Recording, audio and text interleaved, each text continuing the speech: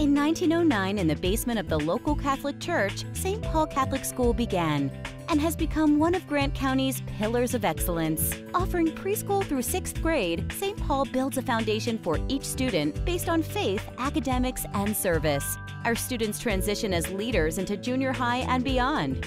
Is this what you want for your child? The choice is yours. Visit us or learn more at stpaulcatholicmarion.com.